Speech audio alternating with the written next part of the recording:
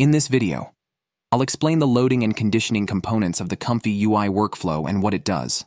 Let's get started. The first, unet loader. This component loads a diffusion model with two parameters, unet name and weight d type, which is crucial in the image generation process. It generates the model output, which can be used in both basic scheduler and basic guider component, for this instance.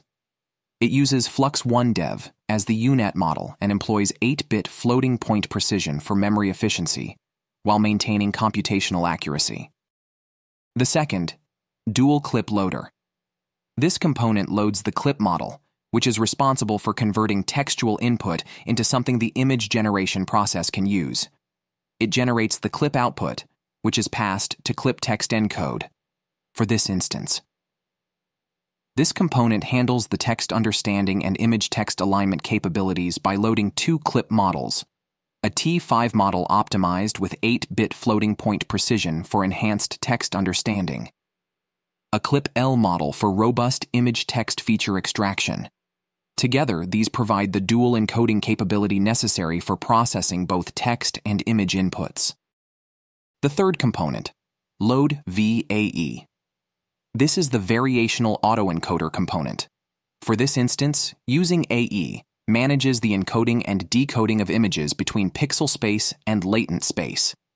It compresses images into a lower dimensional latent representation for the diffusion model to work with, and then decodes the results back into viewable images.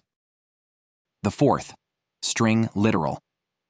This component is where you input the actual text description. This is the description that will later guide the image generation. It generates string, which can be passed to clip text encode component. The fifth component, clip text encode. This component takes the text description you provide and encodes it into a format that the clip model can understand, which will guide the image generation process. It takes two inputs, clip from dual clip loader, text from string literal. It generates conditioning, which can be sent to the basic guider component to assist in guiding the image creation process. The sixth component, basic guider.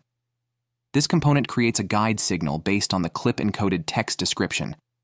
This guide helps steer the image generation process so that the final result aligns with your textual description. It takes in model from unet loader, conditioning from clip text encode. It generates guider, which can be passed to sampler custom advanced component. That's all. See you in the next video.